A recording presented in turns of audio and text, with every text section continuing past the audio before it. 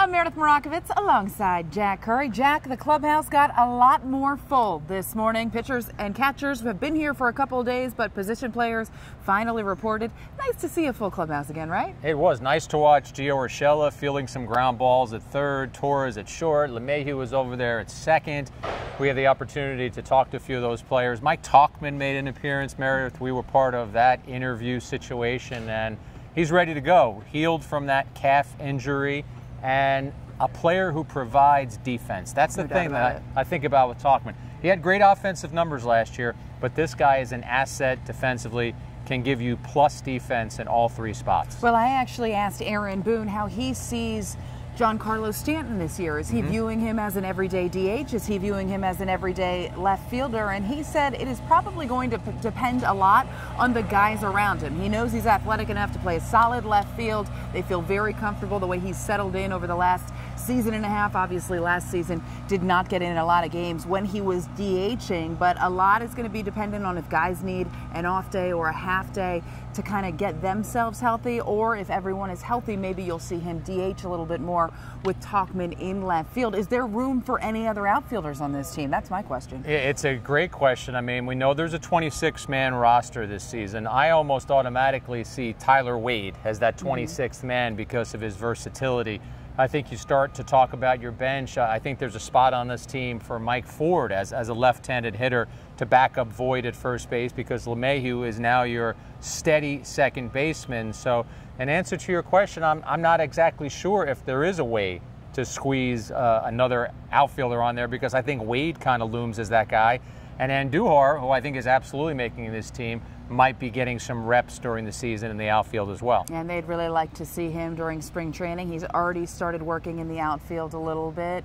I'm sure we'll talk to him in coming days, but he's been moving around first base, third base, outfield, trying to find a way just to get that bat in the lineup. Wouldn't be surprised if you saw him DH a game or two to see how he looks there as well. I agree. And going back to your Stanton question to Boone, I thought Boone's answer to you was interesting. And if I'm reading tea leaves, as much as I think they need Stanton to play left field, from Boone's answer, I see a lot of DH in uh, mm-hmm. uh, Stanton's future. They, they want him on the field. They want that bat in there.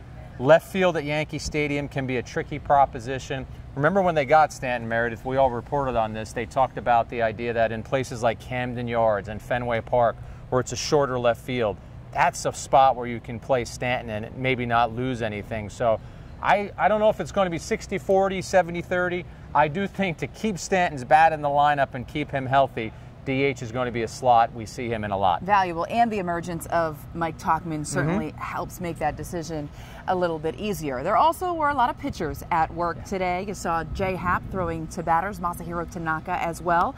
Tanaka working on a cutter. He'd like to use that a little bit more to left handed batters, and who better to learn from? Then Andy Pettitte. He was in camp today. Kind of nice to see Andy again. It was nice to see Andy, and you're right. What a perfect segue or a perfect headline to have Tanaka working on that cutter, a pitch that he wants to bore in on left-handed hitters. Now, obviously, Andy was a lefty, and his moved in on right-handed sure. hitters, but the point is, is still the same. And I looked it up on BrooksBaseball.com. Tanaka threw his cutter about 6% of the time last year, so that it, it is a weapon in his arsenal. It hasn't been a weapon that he's used a ton. Boone made it sound like he absolutely wants to increase the usage of that, make the slider and the splitter even better. A little bit better, even maybe a little bit more effective if he's able to own that side of the plate mm-hmm. with the cutter against left handed batters. Time will tell whether or not he uses it.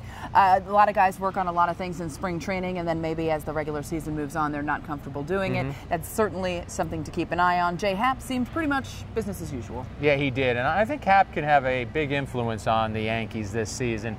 Let's look at who he was in the second half of the mm-hmm. season when he finally got acclimated to the baseball when I think he also stopped experimenting a little bit, honestly. This is a guy whose bread and butter pitch has always been his four seam fastball. The problem with the four seamer was he was missing location with it. I think he got back to having more confidence in that pitch, and I think he's a pitcher the Yankees can rely on. You mentioned the position players, seeing LeMahieu out there, Torres out there, Gio Urshela, still a huge smile on his face. But when you mentioned Torres, it made me think of this. He addressed the media in the clubhouse, and of course, the Astros questions were asked, and he certainly didn't shy away from it, Jack. He's usually a little reserved but not today. He answered about four or five questions about making the transition from second base to shortstop. And then the questions about the Astros came. And you're right, Meredith. He was passionate, he was animated. Gleyber Torres, I would always describe him as being a very polite young man, but more on the reserved side.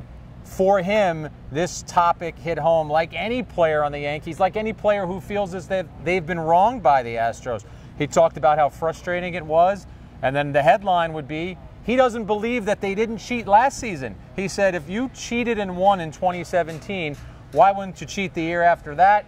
And then the year after that? And then he used a very uh, interesting video game analogy, which is more for people who play video games, not me. You, you, can, not, can, you decipher that one for me? Not a huge video game player, but apparently he plays video games with Luis Severino fairly frequently. And he said, look, if I'm sitting there and I'm playing video games with Luis Severino and I look over and I see his controller, what he's going to do next, and I use it and I win, you better believe I'm doing it again and I won again. So it sounds like he's already done that. So Luis, we're sorry to inform you, but Gleyber's been cheating for a while. You might want to separate a little bit or at least cover the controller. It was a casual, everyday example, yeah, but it was good. also a logical example. It was. And it shows you that Gleyber Torres – like most people who have observed this situation, is angry at the Astros, believes that the Astros have violated baseball law by cheating. And Meredith, I, I drew the comparison the fact that he's from Venezuela, I, asked him about Jose Altuve. Mm-hmm. In the middle of all this with the Astros, this is someone that